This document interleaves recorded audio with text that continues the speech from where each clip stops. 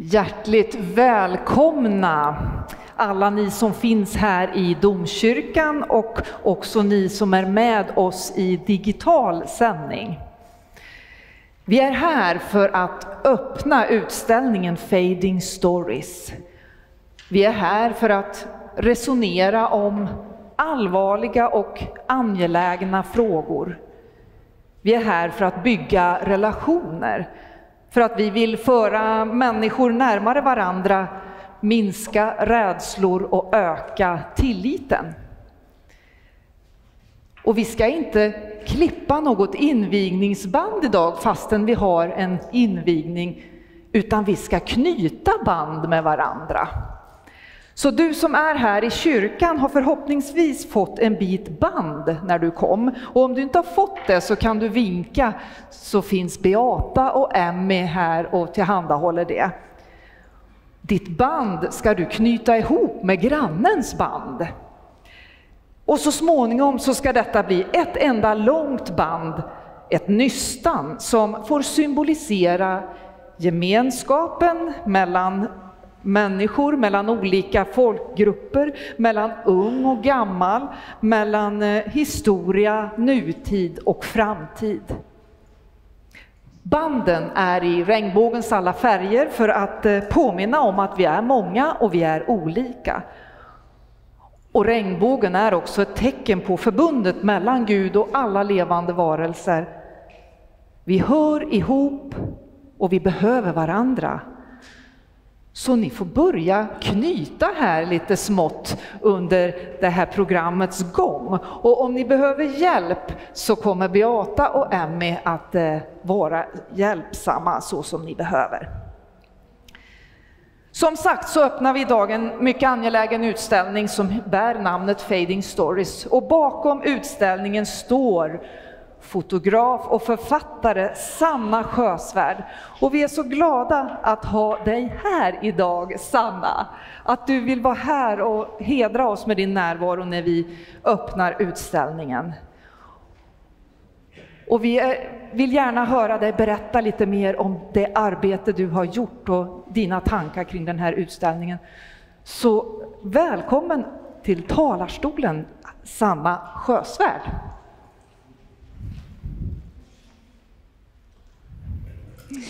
Jag vill säga varmt välkomna till öppningen av utställningen Fading Stories här i Karlstad domkyrka. Jag är djupt tacksam av domkyrkan att ni ger oss möjligheten att visa den här viktiga och gripande utställningen. Idag samlas vi för att hedra och bevara de viktiga minnena från Förintelsen. En av de mörkaste perioderna i mänsklighetens historia. Genom Fading Stories så strävar vi efter att ge en röst åt dem som överlevde och hedra minnet av dem som inte gjorde det. Jag har haft privilegiet att intervjua flera överlevande från Förintelsen vars berättelser har format denna utställning. Deras vittnesmål bär på en djup sorg men också en otrolig styrka och en mod en av dessa röster är Mala Freund, född den 1 september 1926 i Lodz i Polen och som avled den 20 november 2022. Hon berättade om den skrämmande överraskningen och förlusten när hon och hennes familj tvingades lämna allt de hade bakom sig. Vi bodde i vår egen villa och Hitlerjugend kom. Det var en stor våning och de tyckte det skulle passa dem. Vi fick lämna allt vi ägde. Allting tog slut. Plötsligt, sa hon. En annan gripande berättelse kommer från Bella Citron, född den 17 oktober 1925 och som avled den 25 augusti 2021. Han delade med sig av sin smärtsamma erfarenhet från koncentrationslägret i Auschwitz och den komplicerade relationen till sin far. Jag har inget minne av att min pappa tagit min hand eller pussat mig. Jag var en stor besvikelse för min far och när vi hamnade i Auschwitz fick jag en impuls att krama om honom. Men det gjorde jag inte. Och inte ens då kunde vi närma oss varandra, berättade Bella. Pior Settinger är född den 23 maj 1938 i Warszawa. Delar en berättelse om flykt och överlevnad i stadens kloaker. Det är ett vittnesmål om mänsklighetens förmåga att hitta ljus även i de mörkaste situationerna. Vi började springa mot mitten av gatan och efter några meter kom vi fram till kanten av ett runt hål. Det var två händer som drog oss in i det hålet. Det var totalt mörkt och det luktade väldigt illa. Vi var i kloaker som kloaktunnlar som förenade stadsdelar, minns Piotro. Dessa berättelser och många andra som har samlats i Fading Stories är ju inte bara en samling av minnen. De är en kraftfull påminnelse om vikten att stå upp för mot orättvisor och att aldrig vara passiva åskådare till ondska. Varje berättelse är unik och berört mig på många olika sätt. Det har också väckt sorg, men också beundran för deras mod. De har lärt mig om vikten att aldrig glömma historien och att ständigt arbeta för tolerans och förståelse. Vi har en skyldighet att bära dessa historier vidare och att sprida budskap, att sprida deras budskap och säkerställa de tragiska händelserna under Förintelsen aldrig upprepas. Genom att dela dessa minnen så hedrar vi inte bara de överlevande och deras anhöriga, utan att vi bidrar ju även till att bygga en värld där tolerans, förståelse och medmänsklighet står i centrum. Jag vill tacka till alla överlevande som har delat sina berättelser. Era ord och erfarenheter är ovärderliga och de kommer fortsätta att eka genom tiden och påverka framtida generationer. Vi lovar att aldrig glömma vår strävan efter kärlek, medkänsla och medmänsklighet ska leda oss framåt. Tack.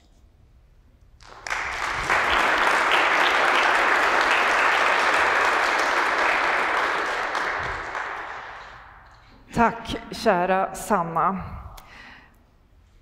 Nästa talare har anknytning till en av de överlevande som finns representerad här i utställningen. Vi hade förhoppningar om att Hanja Rosenberg i egen hög person skulle ha gästat oss här idag. Men det är vinter, det är kallt och det är is och, och knöggligt på gator. Så av hälsoskäl så hade inte Hanja möjlighet att närvara. Men Fredrik Lemming hälsar vi välkommen och du har en särskild historia och en särskild relation till Hanja. Vill du berätta och dela den med oss så är vi mycket tacksamma. Välkommen till dig. Tack så mycket. Överläkaren för sanatoriet i Arvika, Rolf Lemming, förenar mig och Hanja Rosenberg. Hanja som ni kan stifta bekantskap med är borta. Han var min farfar och den tredje personen som räddade livet på Hanja. Han har berättat för mig att doktor Lemming, utan honom hade hon inte funnits här och jag hade troligtvis inte stått här inför er. Hanja kom svårt sjuk efter andra världskriget till eh, Värmland och Arvika. Hon var inte bara svårt sjuk, hon var dödligt sjuk i tbc. Förutom att träffa min farfar så förenades hon också med sin mamma som hade smugglat ut henne ur gettot, där var förvisade. Och jag tänker mig att på sanatoriet i Arvika så upplevde nog Hanja, för första gången på väldigt länge åtminstone, en institution, kanske ett samhälle, en stat, men framförallt en läkarkår som gjorde sitt yttersta för att rädda hennes liv och de andra patienternas liv istället för att försöka ta livet av dem. Våra livstrådar knyts ihop via min farfar, men de stärks och tätare band vävs i den relation hon fick till min faster Marianne. Han berättar att det var min första väninna och jag tror att om det hade varit andra förhållanden så hade han haft andra väninnor där hon växte upp. Men tiden medgav inte det. Det fanns prioriteringar för andra saker som var viktigare. Jag har funderat på vad min roll i den här historien är. Jag är ingen läkare, jag räddar inga liv. Jag är inte heller en förälder som behöver smuggla ut mina barn och jag har inte det hjältedådiga modet att skydda någon med risk för mitt eget liv som den polska familjen gjorde som gav Hanja värme kärlek under mycket svåra förhållanden. Jag har insett att jag har en viktig roll här idag. Idag har min farfar med mig. Nu ser ni inte dem, men de manschettknapparna jag har på mig, det är hans. Och kanske var det just de manschettknapparna som han hade när han gick ronderna, träffade Hanja och såg till att hon tillfrisknade på ett bra sätt. Min roll i det här är att vara en länk, en brygga mellan historien och framtiden. Jag har pratat med Hanja och jag har lovat henne att jag ska föra hennes berättelse, alla överlevares, alla offer för Förintelsens vidare till mina barn, till mina barnbarn. Han har träffat mina barn och min förhoppning är att de ska föra den här berättelsen vidare till sina barn och barnbarn. På så sätt så kommer jag spela en viktig roll. Jag kan säkerställa att det inte blir fading stories, utan det blir living stories som färdas vidare i generationer i flera hundra år. Ni som sitter här och ni som lyssnar, ni har samma möjlighet, ni har samma makt att vara den bryggan mellan historien och framtiden i evighet. Tack.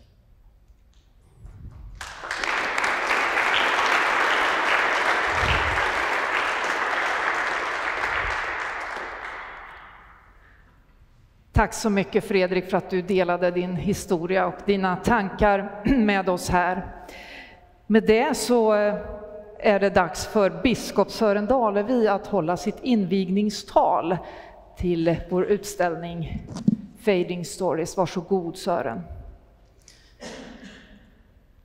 Han hette, han hette Mark Berkowitz och han var 12 år gammal när han i mars 1944 kom till Auschwitz. Han berättar själv, och nu citerar jag. Vi som levde i koncentrationslägret minns de där människorna som gick runt och tröstade andra, som gav sitt sista bröd till andra. De var inte så många, men de är i sig bevis på att det mesta, det mesta kan tas från en människa, förutom hennes frihet att själv välja hur hon ska svara upp mot det som möter henne i livet. En människas frihet att välja sin egen väg.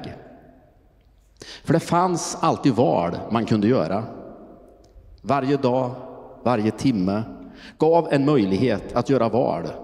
Val som avgjorde om du skulle böja dig inför det som ville stjäla dig från dig själv. Din inre frihet. Som avgjorde om du skulle avsäga dig din mänsklighet och bli stöpt i formen av den typiske lägerfången. Mark Berkowitz överlevde förintelsen och han kom sedan att leva sitt liv i New York. Förintelsen är en fruktansvärd händelse i vår kulturs mitt. Men det som gör den unik var inte brutaliteten.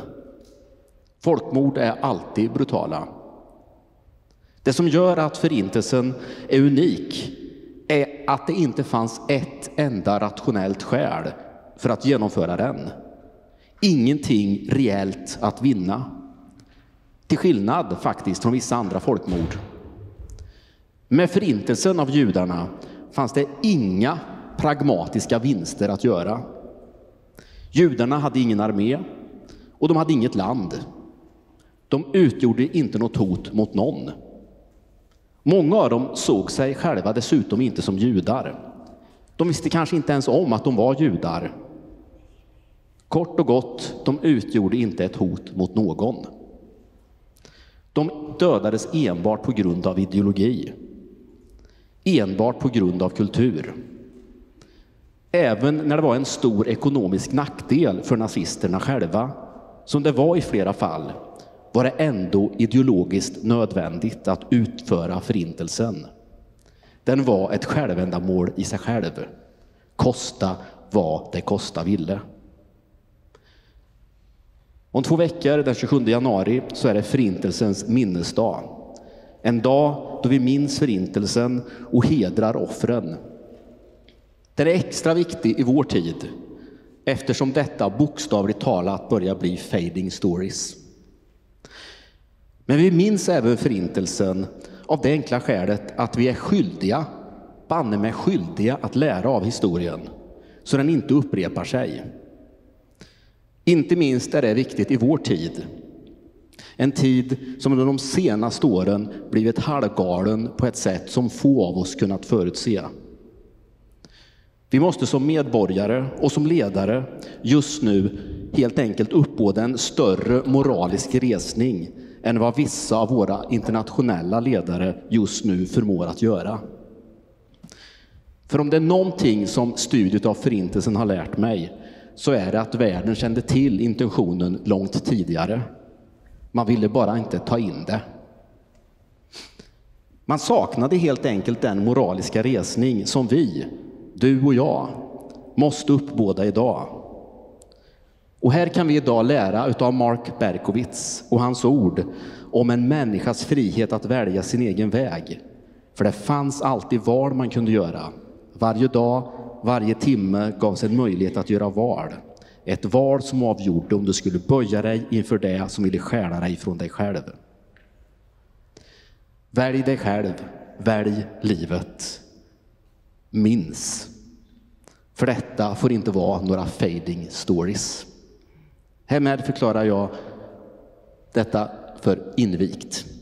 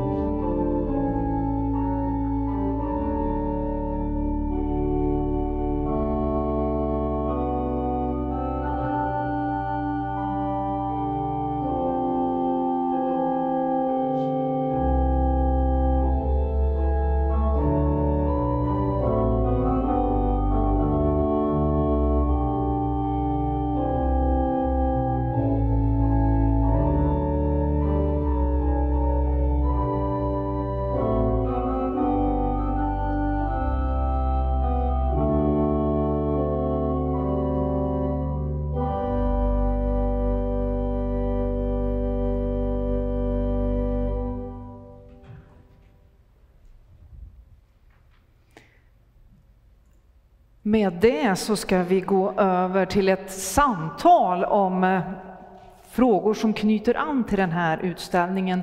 Så då välkomnar jag Sanna och Sören fram till borden här i mitten och vi ska också välkomna landshövding Georg Andrén och Lars Stjärnelöv från Agera Värmland som också ska delta i samtalet. Så om vi får med oss mikrofonen där som ni använde och så får ni ta plats vid borden här. Välkomna!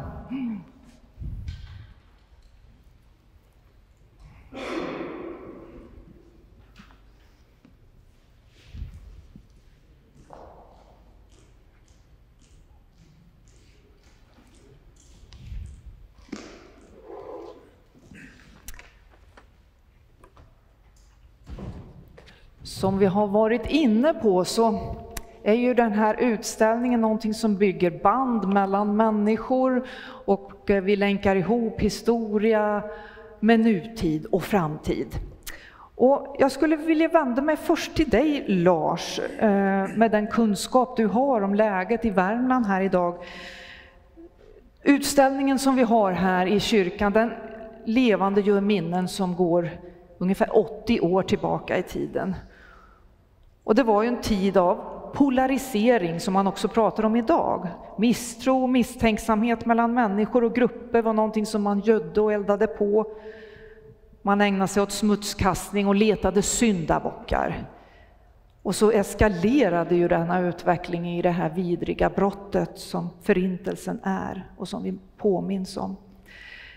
Hur skulle du vilja beskriva läget här idag i Värmland när det kommer till företeelser som rasism, antisemitism, alltså hatet mot judar som jag vet är liksom en, har lärt mig under researchen i det här arbetet att det är en särskild speciell och ondskefull form utav, av hat. Och allmän främlingsfientlighet, hur, hur har vi det i Värmland skulle du vilja säga? Ja, eh, tack för att jag fick komma. Eh, för att förstå eh, hur det ser ut i Värmland idag så måste vi faktiskt gå nästan hundra år tillbaks i tiden, ehm, för det hänger ihop. Ehm, De berättelser som vi får ta del av i Sannas eh, utställning är precis som du säger en väldigt mörk del i vår historia. Ehm, det var en tid som Sverige kom att betrakta lite grann från sidan.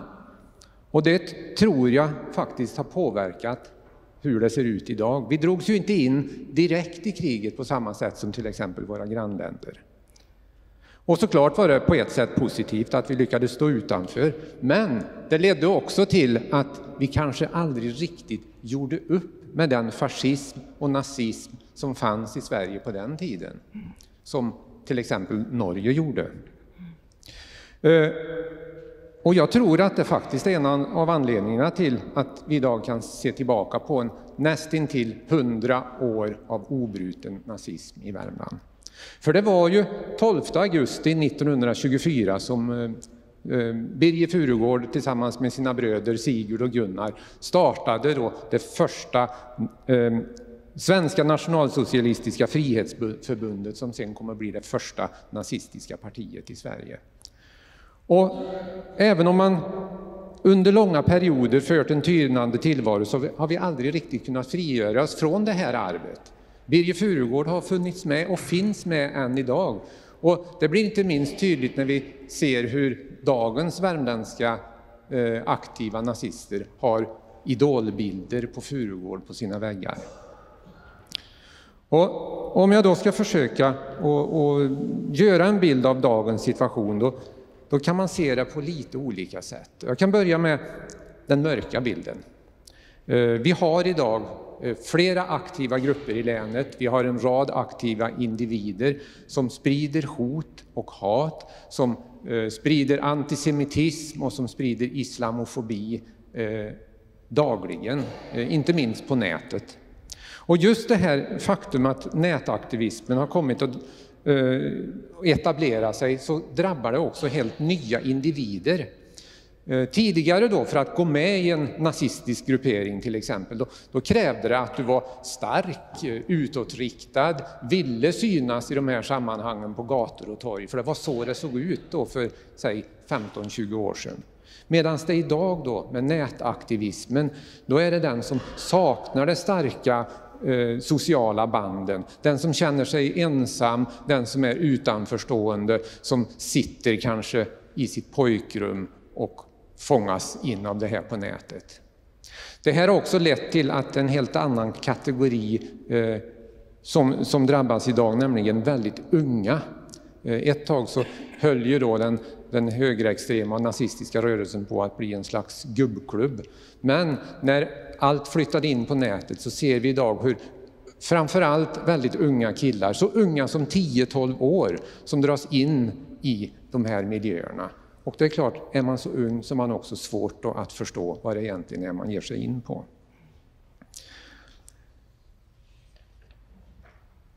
Eh, och det här leder ju till att vi också måste förändra sättet vi, vi bemöter den här problematiken. Eh, nu måste vi stärka det förebyggande arbetet, vi måste tidigare lägga, vi måste jobba med yngre personer och vi måste också bredda eh, arbetet.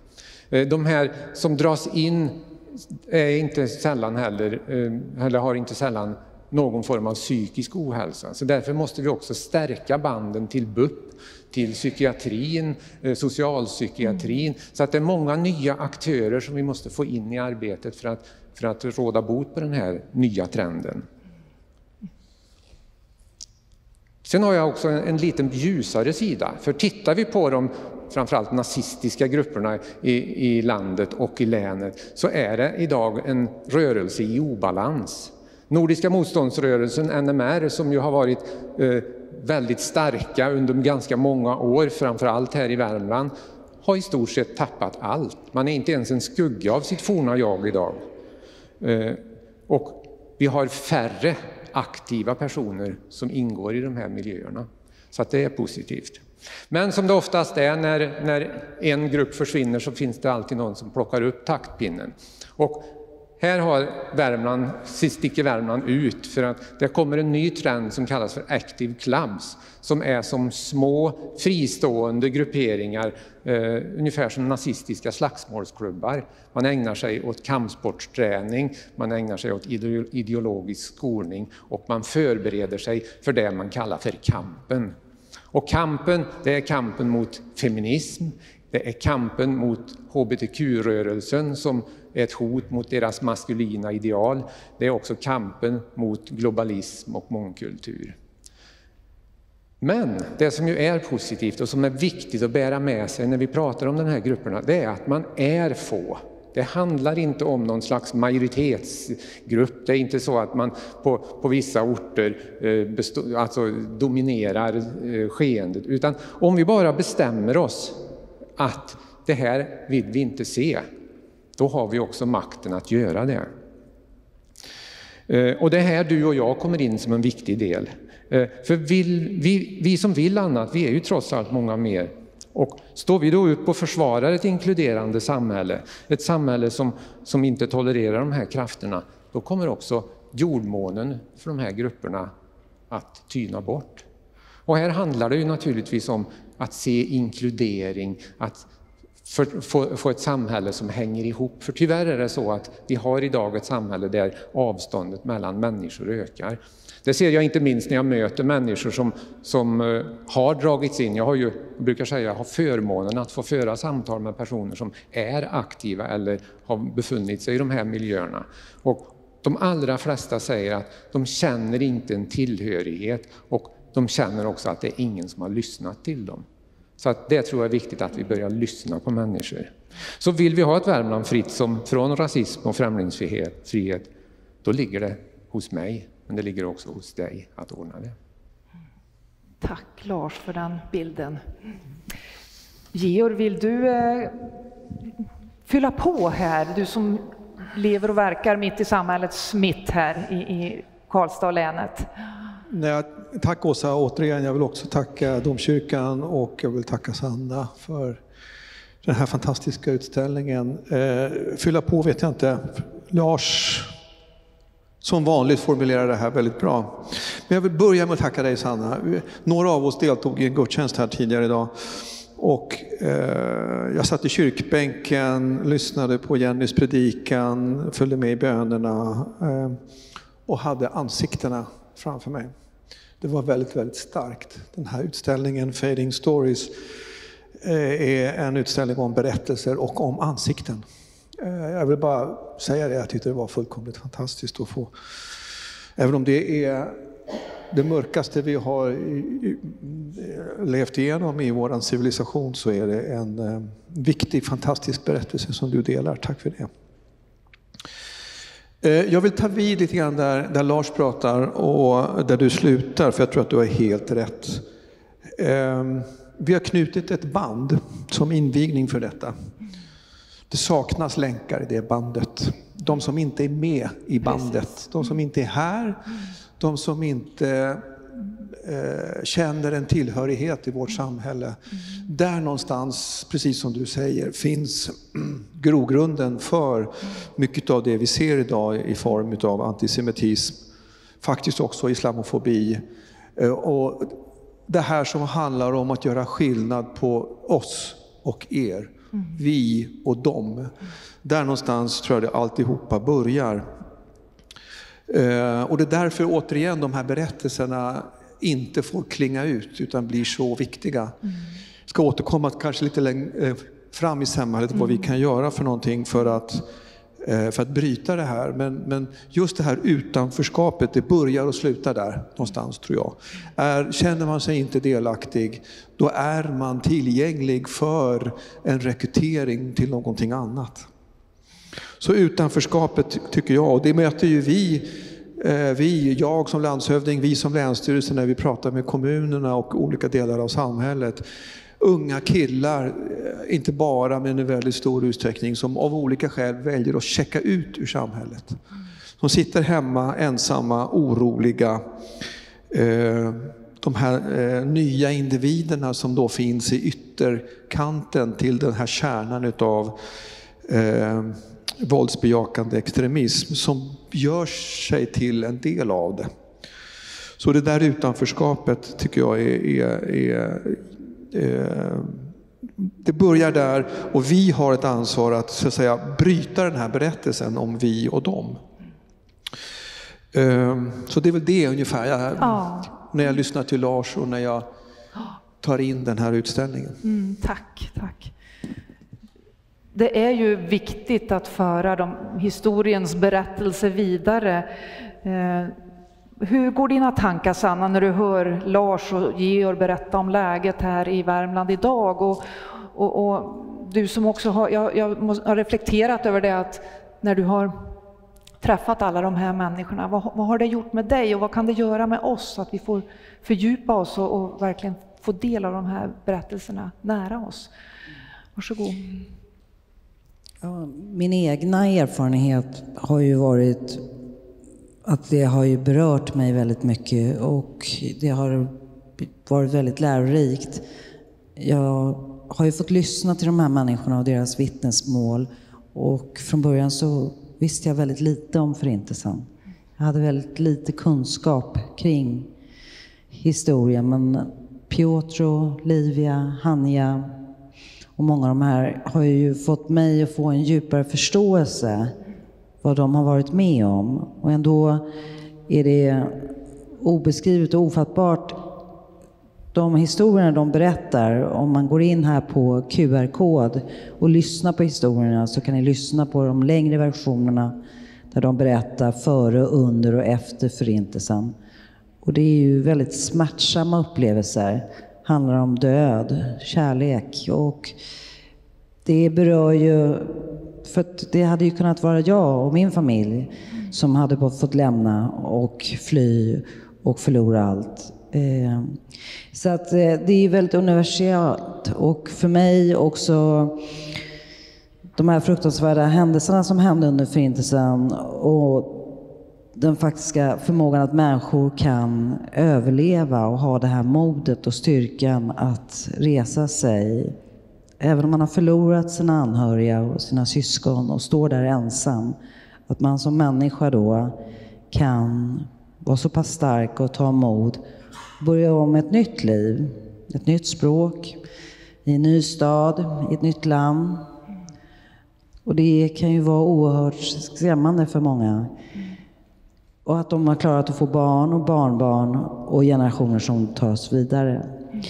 Eh, för mig har de här berättelserna varit väldigt unika och det har berört mig och det har också jag har känt också en sorg och tragiskt. Och du vet, det inte, de här överlevarna har inte jag lämnat efter den här intervjun och de här samtalet och fotograferingen, utan vi har ju haft kontakt år efter år. En del äter jag lunch med, en del träffar jag som han, jag åker hem till, lagar middag, vi sitter ner och vi pratar. Så att de här samtalen fortsätter ju och med deras barn. Emrichs fru, Emrich gick bort här då. Men hans fru Kerstin hörde av sig igår och Emrichs syster via sms. Så att de har ju, jag har ju kontakt via sociala medier och de liksom finns där. Eh, men professionellt så har det varit också oerhört eh, utmanande och givande. Det, det, det är inte ett lätt projekt Nej. att gå in och försöka liksom berätta. Och att få det förtroendet, att bygga upp ett förtroende och ta den tiden. Så det tog många månader, ibland eh, ett halvår innan någon sa att det är okej. Okay. Du kan få intervjua mig, jag kan få ta del av ditt projekt och sen kan du få göra, eh, liksom sätta sig ner och ta del av min berättelse. Ehm, för mig, deras berättelse har fått mig att tänka på hur viktigt det är att aldrig glömma det förflutna och alltid arbeta för att främja förståelse och godhet i vår tid. Och jag tror också att det har förändrat mig väldigt mycket hur jag ser på världen. Ehm, och det har gett mig också en starkare vilja att bidra mer medvetet och mer empatiskt i, i, med samhället. Men sen tänker jag också hur vi ska lära oss av historien, att sprida den här kunskapen och den här utställningen som är så viktig och som nu tycker jag är väldigt viktig och aktuell. Nu har den gått under fyra år. Första stället var Västerås domkyrka. Det var de som öppnade och producerade hela den här utställningen och det har jag stort tack för det stiftet, för det var lite av deras idé. Varför tar vi inte de här berättelserna och, och visar som en vandringsutställning i våra domkyrkor och kyrkor? Och det är fantastiskt. Den har varit på 14 platser. Det här är den 14 då. Det är väldigt fint av domkyrkan här i Karlstad. Jag vill få tacka er att ni tog emot den här utställningen. Den har ju visats i Trefaldighetskyrkan i Arvika. Och det är också väldigt lyckat. Och jag tycker det är, för mig är det, det berör mig oerhört när jag kommer och ser utställningen. Jag blir alltid väldigt nervös när jag träffar publik. Och jag hoppas att ni kan ta del av den här. Den kommer ju finnas här till den 4 februari. Och att ni kan komma med era barn och barnbarn och vänner och lyssna även på de här vittnesmålen och de behöver man inte vara här på plats och göra. Eh, jag tänker också i vårt fortsatta arbete, det är alltid viktigt det här med att försöka, för mig och jag tror för alla, att försöka få ett fredligt samhälle att vi kan tala med varandra, att vi kan lyssna, som Lars nämnde, att man kan ta sig tid att lyssna på varandra, att mötas. Det tror jag också är väldigt viktigt. Ja. Jag hade ju förmånen att träffa dig redan igår, Sanna, och på något vis gick det upp för mig då vilket arbete du har gjort och vilka, vilket arbete med att bygga relationer och att få människor att öppna sig och dela med sig av sina livsberättelser och vilket ansvar vi har då också när vi tar emot den här utställningen, att vi förvaltar den på ett, ett klokt och bra sätt. Och nu står ju vi här i, i Karlstad domkyrka och Karlstad stift som, som värdar för den här utställningen. Sören, hur, hur kan vi arbeta och, och dra vårt stå, strå till stacken för att eh, utställningen ska bidra till ett eh, ökat tillit och gott samhälle och en god framtid för oss? Det sades ju tidigare här på ett väldigt bra sätt att det här, är, eh, det här får inte bli fade, det här måste vara living stories Precis. inte fading stories. Och där mm. tänker jag, där har kyrkan, kyrkan har ju under tusen år varit en sorts värderingsmässig grund för Sverige. Det här eh, tar vi så för givet som vi ofta glömmer bort, eller, eller ja, man tänker inte på det, men det är ju så. Eh, och vi ska ju också säga att i kyrkans DNA så har det också funnits ett antisemitiskt drag under många år. Alltså, Lars var inne på det, att vi har ju liksom inte gjort upp med vår historia, men 1941 så vet vi ju att ungefär fem, sex präster var medlemmar i en nazistisk organisation. Eh, det var en ganska stor rörelse i Svenska kyrkan, och inte bara i Svenska kyrkan, utan bland militärer, bland jurister, bland lärare. Eh, det här efter andra världskriget så har inte vi gjort upp med det här riktigt, men det här liksom ligger ju och puttrar. Så vi jobbar ju mycket med, inte minst i konfirmandundervisningen, att jobba med värderingar värderingsfrågor, mänskliga rättigheter. Eh, många konfirmandgrupper, bland annat i Kristinehamn och Karlstad, gör resor till Auschwitz. Alltså, det här är någonting som måste bearbetas och jobbas med dagligen och hela tiden för att hålla det levande. För att vad vi lär oss utav, det, utav mänskligheten är att, att om vi inte lär oss av det så kommer det att upprepas, tyvärr. Så, så, det här är någonting vi jobbar ganska mycket med medvetet i Svenska kyrkan. Vi har också i Karlstad stift jobbat mycket med utbildning av präster, församlingsanställda. Vi har varit i Yad Vashem, eh, Förintelsemuseet i, i Jerusalem. Vi har jobbat med, med överlevare och så vidare. För det här är någonting som det ligger i hjärteroten för oss att inte det här upprepas. Och eh, det kan jag också berätta att Beata och Emmy som ni träffade på här med korgen med band har ju också arbetat fram ett pedagogiskt upplägg för barn, ungdom, konfirmand kring utställningen och det är jag väldigt glad för. Precis som du var inne på Lars där så går det ju ner i åldrarna så det gäller ju att fånga upp eh, barn och unga tidigt. Eh, så att det är ett jättefint jobb som är på gång där och vi kommer att ha besök av skolklasser, konfirmandgrupper och så vidare här och även vuxengrupper som får ta del av det. Då är vi inne lite grann på det här med det arbete vi gör och det som pågår i, i, i samhället. Eh, om jag går tillbaks till dig Georg, hur, hur är din bild av det, det, arbete, det goda arbete som pågår för att stävja antisemitism och, och främlingsfientlighet i allmänhet? Det goda arbetet, ja, om jag får börja i någon annan ton så tycker jag att vi famlar, om jag ska vara helt ärlig. Jag tycker att vi, eh, vi är lite vilsna i hur vi ska ta berättelsen. Det här som både Sören och, och Lars är inne på, vår förmåga att göra upp med historien, handlar inte bara om att stänga ett kapitel, utan det handlar om att föra in den berättelsen in i dagens samhälle, för det finns länkar.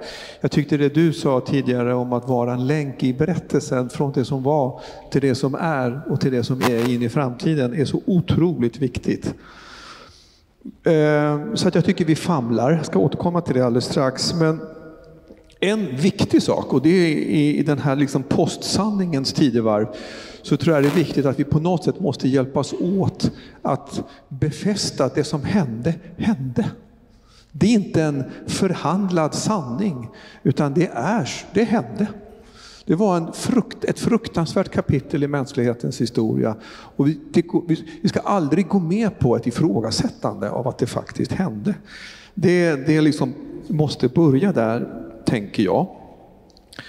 Sen, och i det ligger synen på kunskap. Alltså det, det som att sprida kunskap om det som hände, sprida kunskap om det som är och på något sätt hjälpas åt med att eh, våga stå för fakta.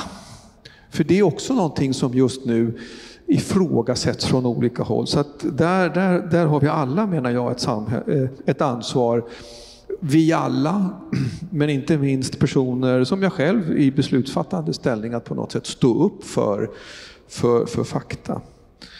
Så där tycker jag vi famlar. Sen tycker jag vi famlar på ett annat plan också och det handlar om att inte bara vara reaktiv när någonting händer, utan också våga ta ansvar och se. Jag tror, om det var du Sanna eller om det var du Lars, att våga se någonting som håller på att hända.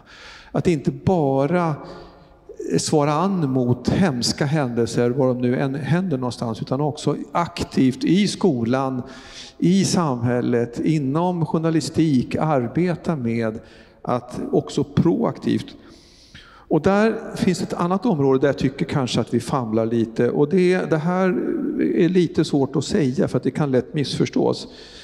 Vi, många är väldigt duktiga. Forum för levande historia, Judiska museet och andra är väldigt, väldigt duktiga på att berätta sin berättelse. Och den behöver berättas. Andra är väldigt duktiga på att arbeta mot islamofobi. Ytterligare andra är väldigt duktiga på att arbeta med rekrytering in i eh, gängkriminalitet och annat. Och det finns en risk att vi delar upp det här i olika delar. Och jag tror att det är viktigt att vi på något sätt ser bilden. Och det, återigen, här tycker jag vi famlar. Vi behöver vara duktiga på att med våra barn och ungdomar i skolan prata om identitet. Prata om tillhörighet. Prata om tillit, tillit till samhället. Och vi vuxna har ett ansvar där. Och jag tycker att vi i skolan till exempel inte bara ska prata om det är jättespännande tycker jag med kulturkanon. Det är jättespännande med den svenska identiteten. Men det finns också andra identiteter i det svenska samhället och vi måste prata om identitet som någonting viktigt, som någonting bra. Och det kan se olika ut. Så att inte vi får det här vi och dem och den andra utan att vi skapar ett större vi. Den, den eh, jättespännande amerikanske historikern eh, eh, Timothy Snyder eh, pratar om vi och dem som logiken bakom den totalitära staten medan den liberala demokratin pratar om skapandet av ett vi. Som kan se olika ut men det finns någonting som håller ihop oss. Så att våga se och våga agera känner jag är någonting så att vi... Så att det görs mycket bra saker men vi kan göra mer. Vi kan bli mindre ängsliga och vi kan bli modigare i att se helheten. Jag ser att Lars har noterat lite saker här och jag tror att, vill du eh, kommentera eller spinna vidare på det Georg säger?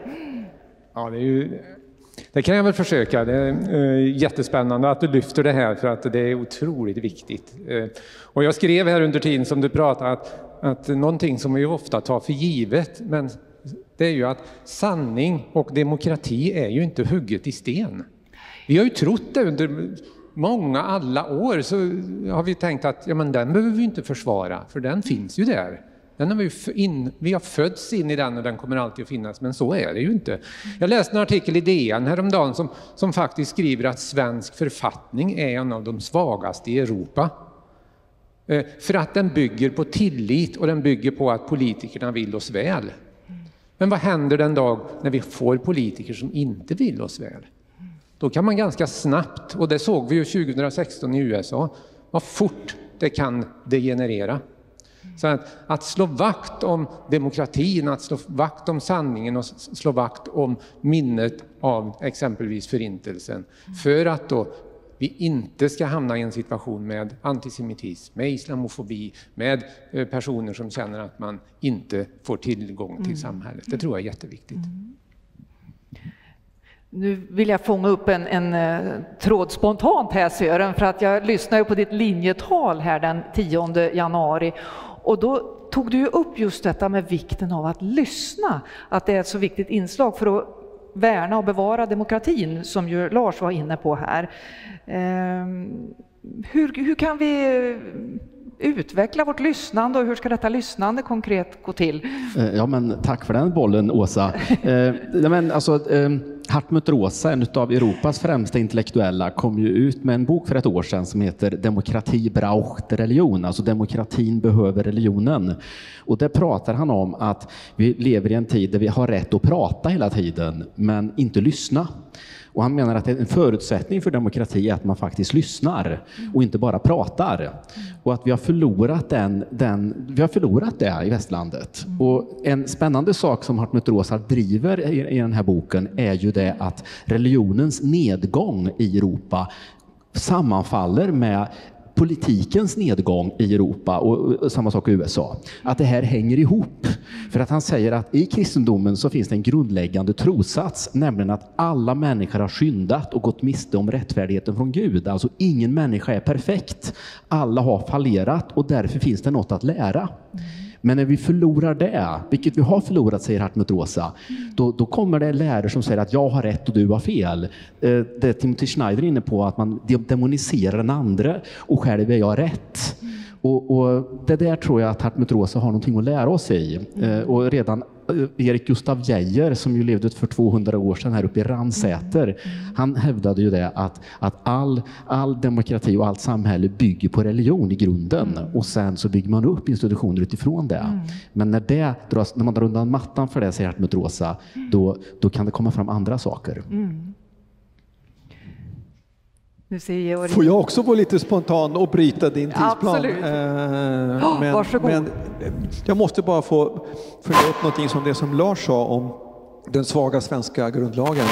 Vi, vi hade förmånen att bo och arbeta i Sydafrika några år i slutet på 90-talet, precis när man gjorde övergången från ett eh, totalitärt exkluderande system apartheid över en demokrati. Och då förhandlade man fram en mycket, mycket stark grundlag, konstitution, för att göra den förvandlingen. Jag minns jag hade diskussioner då med svenska statsvetare som sa i Sverige har vi en väldigt svag grundlag, för vi behöver inte det. För vi har en stark demokratisk kultur i Sverige. Och vi kanske behöver återbesöka det påståendet. Precis. Jag tänker också att någonting som jag själv upplever att vi behöver i vår tid, det är också det här med hopp och framtidstro. För det är väldigt mycket tuffa, tunga nyheter vi får till oss. Eh, om vi tar er Sören och Sanna, vi kan börja med dig Sanna. Hur, hur känner du att den här utställningen förmedlar hopp? Ja, som jag meddelade tidigare då, många av de här hade ingenting. De lämnade hem, familj, de förlorade precis allt och kom sen till Sverige och började från grunden och hade då inte ens ett språk och ingen identitet. Men de byggde upp ett liv med att de träffade sin respektive och de skapade en familj och kunde gå vidare med barn och barnbarn. Och det är ju för mig att se ett hopp att de kunde gå vidare. Många av de här som inte kunde komma, som inte överlevde och som inte fick möjligheten att komma ut och berätta sin historia. Och det är ju väldigt, men det fanns ju också de som klarade sig. Och det ljuset och liksom att det, det finns ju på något sätt, för mig, när jag ser det, så har ju de skapat en framtid i Sverige. Så på modet och civilkuraget hos flera som de här människorna mötte på sin flykt och på, på, som gömde människor med risk för eget liv och så vidare. Det visar ju att människan är, har en styrka också, så att det, det finns både och. Sören, hur tänker du? Hopp och, tro och hopp är ju våran paradgren, är det inte så? Ja, men eller hur? Nej, men jag tänker ju att, att hoppet är ju att vi lever i ett sånt fantastiskt bra samhälle, trots allt. Alltså, eh, vi tar det så, så lätt för givet, men vi, Sverige är ju ett fantastiskt land och det är ju oerhört hoppfullt att få leva i det här landet och faktiskt verka för. Och jag, är, jag har ganska stort hopp till att det, vi kommer att ordna den här biffen. Vi står som samhälle inför stora utmaningar, men det har vi gjort förut också och vi har alltid klarat av det. Eh, jag tänker på en, eh, när jag såg de här utställningen här och gick runt här emellan efter gudstjänsten så kom jag att tänka på Viktor Frankl, alltså en av de förintelseöverlevare som har skrivit några böcker om förintelsen. Och där han, han, han skriver att det som var så viktigt för att överleva förintelsen för hans del var att hela tiden ha ett hopp. Alltså när du inte har ett hopp, det är då du så att säga, han sa att när jag, träff, när jag, jag kunde träffa människor som inte hade ett hopp och jag förstod att de kommer inte överleva. Men han hade hela tiden ett hopp, någonting han levde. Och så att hopp är en oerhört viktig beståndsdel. Eh, Så det tror jag vi ska påminna oss. Men framförallt, vi lever i ett väldigt bra samhälle. Sverige är ett bra land. Gott. Klockan börjar dra iväg mot 14 och vi eh, behöver strax runda av det här programmet. Men jag tänker att ni får chansen ändå att skicka med någonting. Om vi börjar ute hos dig Georg och så får, vi, eh, får ni chansen att, om ni har någonting avslutningsvis som att förmedla till oss alla. Det är berättelsens kraft, tycker jag. Att, eh, som flera av er har sagt, att inte prata om fading stories utan living stories. Ja. I Västvärmland har vi en massa samhällen som det var en del av kampen mot nazismen genom att man hjälpte motståndspersoner, man hjälpte judar som flydde. Det finns en berättelse, vi behöver berätta den, vi behöver påminna oss om den. Där ligger också hoppet att inte låta det få bli en fading story utan en living story. Mm. Om jag ska ta vid där så vill jag också slå ett slag för styrkan i det vi själva gör. Alltså att vi har möjlighet att förändra. Jag hade förmånen att under många år jobba med ungdomar i ett elevens val demokrati som vi hade på en skola i Sunne. Där vi bland annat då reste till, till Auschwitz varje år med grupper. Vi var där 33 gånger har jag varit där. Och så var det en, jag kommer så ihåg, för vi gjorde en utvärdering varje, varje vår. Och så hade vi jobbat med alla de här frågorna under ett läsår. Och så var det en tjej som skrev, nu vet jag att jag också kan förändra världen. Och det tyckte jag var så fint. Det var sannerligen eh, hoppfullt. Vi, vi kan. Ja, gott. Eh, I linje på det, jag hade tänkt säga något annat, men eh, eftersom Lars sa det så tänker jag faktiskt av- avsluta med att, för min del, att citera Mark Berkowitz, han som jag hade i mitt tal, där han sa vi som levde i koncentrationslägret minns om de människorna som gick runt och tröstade andra, som gav sitt sista bröd till andra. De var inte så många, men de är i sig bevis på att det mesta kan tas från en människa, förutom hennes frihet att själv välja hur hon ska svara upp mot det som möter henne i livet. En människas frihet att välja sin egen väg. Tack.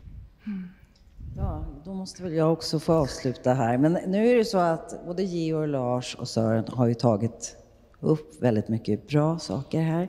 Men just det här, jag skrev att jag tycker att man ska öka förståelsen för, för varandra för att vi ska minska fördomar och konflikter. Men också tror jag att det alltid är viktigt och det har varit som en röd tråd i, med det här projektet, och utställningen, det är ju att man står upp för varandra och mänskliga rättigheter och uh, den här rättvisan i alla situationer. Att försöka få människor att inte bli orättvist behandlade och att man tar sig tid att lyssna. Att ingen är över den andra utan att vi är liksom människor. Det får vi inte glömma. Vi är människor. Eh,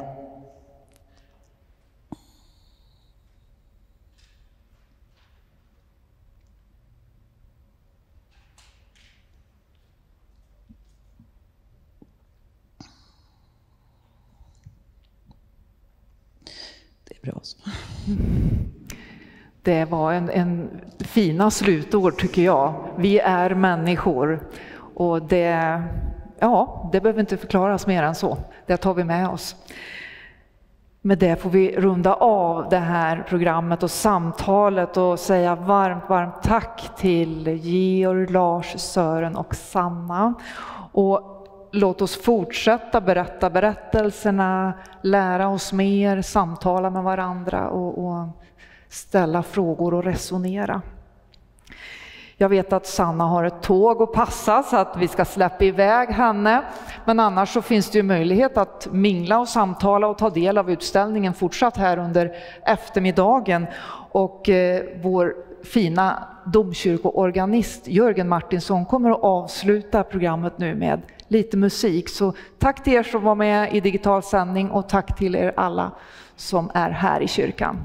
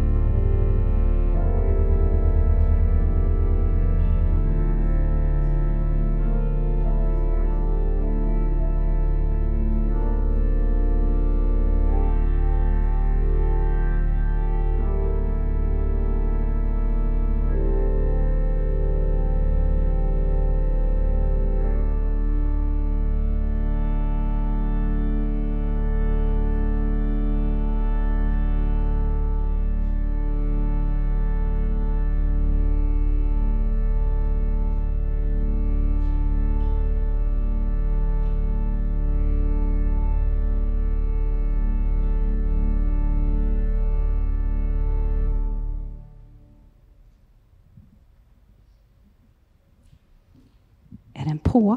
Jag vill säga en sak till. Tack Jörgen för det du spelade. Den 27 januari är det Förintelsens minnesdag. Då har vi ordnat ett program. Det är eh, en eh, stund vid Mosaiska kyrkogården klockan 11. Klockan två är det på Värmlands museum föreläsning om antisemitism i historia och nutid. Och sen klockan fyra blir det ett arrangemang här där eh, stiftsteolog Jesper Svartvik kommer att föra samtal med Eva Läckerov som kom som kvotflykting hit till Värmland från Tyskland och överlevde på så sätt Förintelsen. Så välkomna tillbaka!